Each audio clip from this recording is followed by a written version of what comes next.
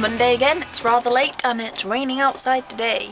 Hazel's still in Canada and I didn't post a video last week even though I said I'd do a clip video or a review video.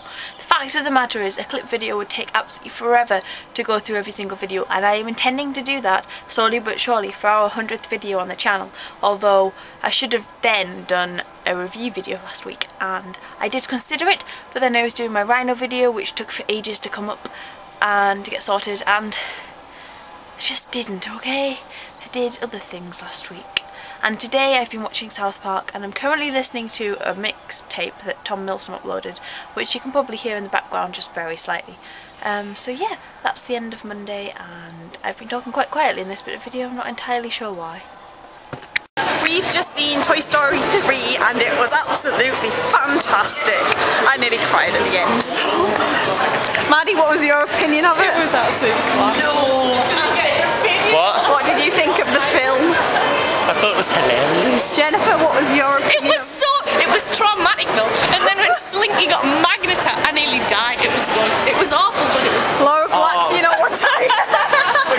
And so, although it is quite old news, I know Hazel, you don't know about it yet, but the Jessie Slaughter phenomenon that attacked YouTube and Tumblr and, well, it basically came from 4chan last week. I've just explained that to both mum and dad, and they have looked at knowyourmeme.com and the videos that she posted.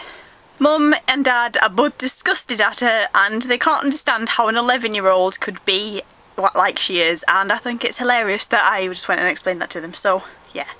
Mum has been to the Eoin Colfer today, and she has brought back the seventh book, and I'm so excited to read it, and it's signed to me. Yay! And she also got this signed to herself. That's so cool.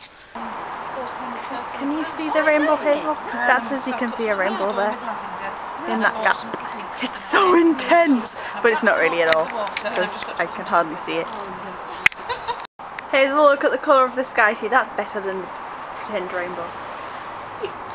It's Friday and it's the end of the week and I am sat watching South Park still because I've got loads still to watch. I've worked my way backwards from series 14 which is the latest one and I'm now watching series 9 and it's so funny. Basically all I have to say today is I'm really excited that you are coming oh that was a bit close to the camera. I'm excited that you're coming home on Sunday. On Saturday I'm going to try and take part in the life in the day thing that YouTube's doing, like to record your day entirely and then enter it to the competition like thing that they're doing, which is quite intriguing. So yeah, I might take part in that. And tomorrow we are going to, which is the same day, it's the same Saturday.